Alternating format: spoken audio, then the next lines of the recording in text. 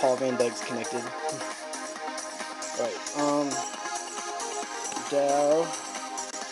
Cause right now, um, this the worst case scenario in the Dow right now, right, is that this pattern break was actually a C wave pattern break, which would mean that a C wave would target, if perfectly um, measured by the A wave, 11,200 would be the peak of this um, move right here off this pattern break. That's, that's the worst case scenario. 11,200 followed by a fade at the close. Best case scenario, however, if um, the Dow can sustain into the close and close at the highs, is a shot to the that um, full upward three, which is 1.618 times wave one, which target as high as 11,400.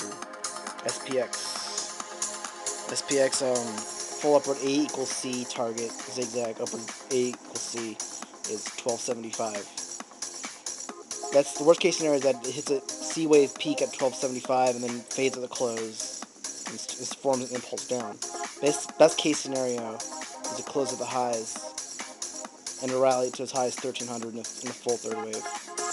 NASDAQ, I mean, this could be a fifth wave up.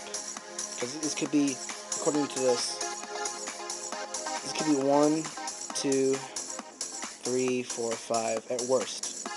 If this is five waves up instead of a third wave, it would actually um, fade at the close even worse. At least to the previous four, at least during 2055. If there's a fade at the close. Um, best case scenario is a close of the high and a full upward three. It's a wrap.